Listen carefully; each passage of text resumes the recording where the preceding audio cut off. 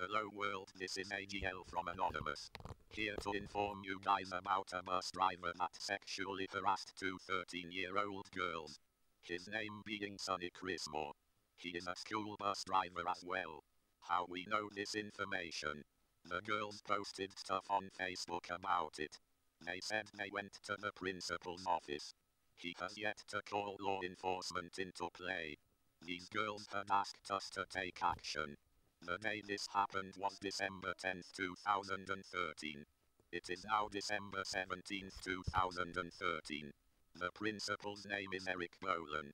Eric Bolan if you do not take action. We will take action. And you will be in trouble by law if you do not take action. As for Sonny Chrismore, we have decided to take action. We are currently helping the girls file a restraining order against Sonny. We are trying to get him replaced as well.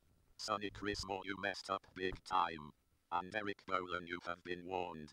Please whoever watches this video post this to their Facebook page.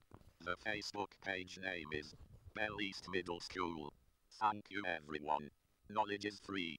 We are anonymous. We are legion. We do not forgive. We do not forget. Expect us. Eric Bolan and Sonny Chrismore.